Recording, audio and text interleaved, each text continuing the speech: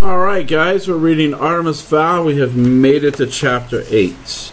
Chapter 8 Troll. Root leaned forward into the microphone. Mulch, what happened? What's your status? Foaly was tapping a keyboard furiously. We've lost audio. Motion 2. Mulch, talk to me, dang it!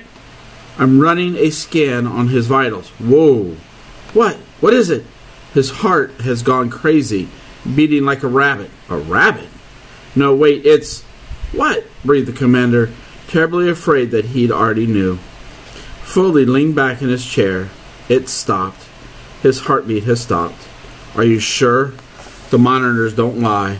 All vitals can be read through the iris cam. Not a peep. He's gone. Root couldn't believe it. Mulch Diggums, one of life's constants, gone. It couldn't be true. He did it too, you know. Fully recovered a copy of the book, no less. He and he confirmed Short was alive. Foaly's wide brows creased for an instant. It's just that what? said Root, suspicious, aroused. well, for a moment there, just before the end, his heart rate seemed abnormally fast. Maybe it was a malfunction. The centaur was unconvinced. I doubt it. My bugs don't have bugs. What other explanation could there be? You still have visual, don't you? Yep, through dead eyes, no doubt about it. Not a spark of electricity in that brain. The camera is running on its own battery. Well, that's it then. No other explanation. Foaly nodded. It would seem that way, unless. No, it's too fantastic. This is Mulch Diggums we're talking about here. Nothing is too fantastic. Foaly opened his mouth to voice his incredible theory. But before he could speak, the shuttle's bay door slid open. We have him. That's said a triumphant voice. Yes, agreed a second. Fowl has made a mistake. Root swiveled on his chair. It was Argon and Coleman, the so-called behavioral analyst. Oh, we finally decided to earn our retainers, have we? But united by excitement, the professors were not so easily intimidated. Colmanus even had the termini to wave Root's sarcasm aside. This, more than anything else, made the commander sit up and take notice. Argon brushed past Foaly, pressing a laser disc into the console player. Artemis Fowl's face appeared as seen through Root's iris scan. We'll be in touch, said the commander's recorded voice. Don't worry, I'll see myself out. Fowl's face disappeared momentarily as he rose from his chair. Root lifted his gaze in time for the next chilling statement. You do that, but remember this none of your race has permission to enter here while I'm alive. Argon pressed the pause button triumphantly. There, you see? Root's complexion, complexion lost any final traces of pallor. There, there what? What do I see? Colmus tutted as one would at a slow child. A mistake. In retrospect, the commander had him by the pointy beard in under a second. Now, he said, his voice deceptively calm, pretend we're pushed for time. Here and just explain it to me without any attitude or comment. The human said we couldn't enter while he was alive, speaks Colmanus. So, Argon took up the account. So, if we can't go in while he's alive, Root drew a sharp breath. Then we go in when he's dead. Colmanus and Argon beamed. Exactly, they said, in perfect unison. Root scratched his chin. I don't know. We're on shaky ground here legally. Not at all, argued Colmanus. It's elementary grammar. The human specifically stated that entry was forbidden as long as he was alive. That's tantamount to an invitation when he's dead. The commander wasn't convinced. The invitation is implied at best. No, interrupted Foaly, they're right. It's a strong case. Once Fowl is dead, the door's wide open, he said. He said it himself. Maybe.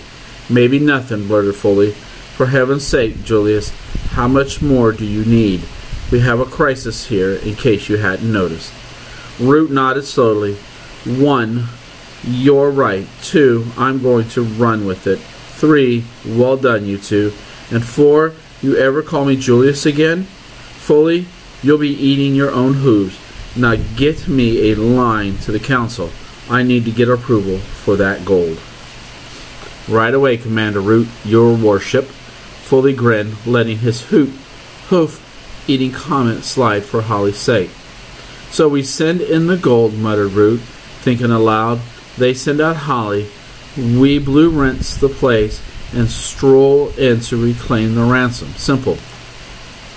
So simple it's brilliant, enthused Argon. Quite a coup for our profession. Wouldn't you say, Dr. Cumulus? Cumulus' head was spinning with possibilities. Lectures, tours, book deals. Why, the movies rights alone will be worth a fortune. Look, these socialist stuff, this is their collective pipe. Puts the kibosh on the depravation breeds antisocial behavior. Chestnut. This foul creature has never gone hungry in his life. There's more than one kind of hunger, noted Argon. Very true. Hunger to succeed, hunger to dominate, hunger to. Root snap, get out before I strangle the pair of you. If I ever hear a word of this repeated on an afternoon talk show, I'll know where it came from. The consultants retreated wearily, resolving not to call their agent until they were out of earshot. I don't know if the council will go for this, admitted Root. When they departed, it's a lot of gold. Foaly looked up from the console. How much exactly? The commander slid a piece of paper across the console. That much. That's a lot, whistled Foaly. A ton. Small unmarked ingots. 24 karat only. Well, at least it's a nice round weight. Very comforting. I'll be sure to mention that to the council. Have you got that line yet? The centaur grunted, a negative grunt very brazen, really grunting at a superior officer. Rootin didn't have the energy to discipline him, but he made a mental note. When this is over, dock Foaly's pay for a few decades. He rubbed his eyes exhaustedly. Time lag was beginning to set in. Even though his brain wouldn't let him sleep because he'd been awake when the time stop was initiated, his body was crying out for rest. He rose from the chair, swinging the door wide to let in some air. Stale, time stop air. Not even molecules could escape the time field, much less a human body. There were there was activity by the portal, lots of it. A swarm of troops gathered around a hover cage. Cudgeon stood at the head of the procession, and the entire bunch was heading this way. Root stepped down to meet them. What's this? he inquired. None too pleasantly. A circus. Cudgeon's face was pale but determined. No, Julius, it's the end of the circus. Root nodded. I see. And these are the clowns? Foaly's head poked through the doorway. Pardon me for interrupting your extended circus metaphor, but what the heck is this? Yes, Lieutenant, said Root, nodding at the floating hover cage. What the heck is that? Bol- bolstered his courage for a few deep breaths. I've taken a leaf from your book, Julius. And th- is that a fact? Yes, it is. You opted to send in a lapse creature, so now I'm going to. Root smiled dangerously. You don't opt to do anything, Lieutenant, not without my say so. Cudgeon took an unconscious step backwards. I've been to the council, Julius. I have their full backing. The commander turned to Foaly. Is that true? Apparently, it just came through on the outside line. This is Cudgeon's party now. He told the council about the ransom demand and you springing Miss Diggums. You know what the elders are like when it comes to parting with gold. Root folded his arms. People told me about you, Cudgeon. They said you'd stab me in the back. I didn't believe them. I was a fool. This is not about you, Julius. It is about the mission. What's inside this cage is our best chance of success. So, what's in the cage? No, don't tell me.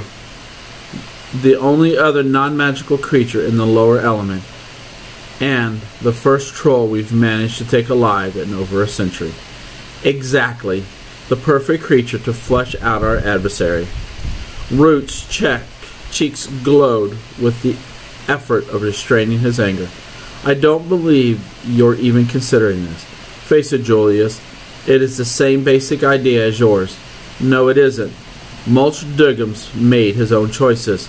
He knew the risk. Diggums is dead. Root scrubbed his eyes again. Yes, I would. It would seem so. A cave-in.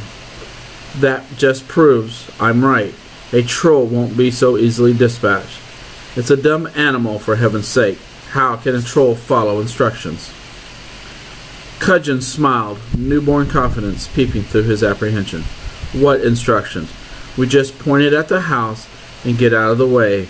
I guarantee you those humans will be begging us to come in and rescue them. And what about my officer? We'll have the troll back under lock and key long before Captain Short is in any danger. You can guarantee that, can, can you? And I love you guys.